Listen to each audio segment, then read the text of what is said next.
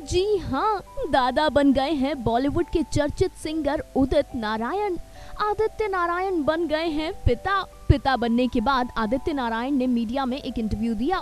बता दें कि कुछ दिनों पहले आदित्य नारायण के घर एक नन्ही परी आई थी। मीडिया से बात करते हुए आदित्य ने बताया कि हर कोई मुझसे कह रहा था कि तुम्हारा बेटा होगा, लेकिन मेरे दिल के अंदर एक उम्मीद थी कि मेरी बेटी ही होगी। कहते हैं ना कि बेटियाँ पिता के सबसे करीब होती है। मैं बहुत खुश हूँ कि मेरी नन्ही परी आ गई है।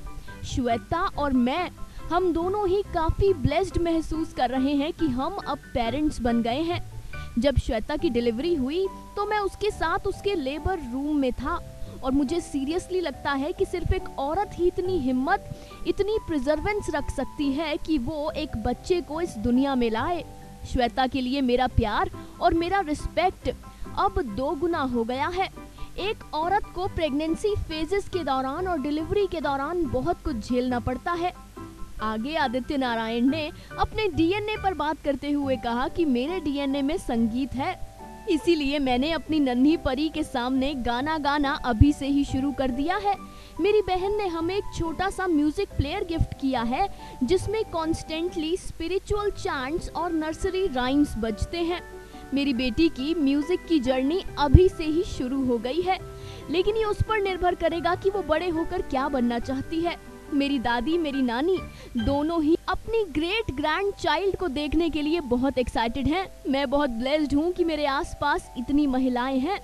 वहीं उदित नारायण पर बात करते हुए आदित्य ने कहा कि मेरे पापा तो शौक में चले गए थे। वो नन्ही परी की ओर बस देखते रहते थे और कहते थे कि मेरी परी आ गई। वो बहुत डरते थे और नन्ही बच्ची को अपनी गोद में नहीं उठाते थे। लेकिन कुछ दिनों के बाद मैंने उसे अपने पापा के लैब में रखा, जिसके बाद उन्हें कॉन्फिडेंस आया और उन्होंने उसके साथ खेलना शुरू कर दिया। मैंने तो बतौर डैडी उसके डाइपर्स चेंज करने भी शुरू कर दिए हैं।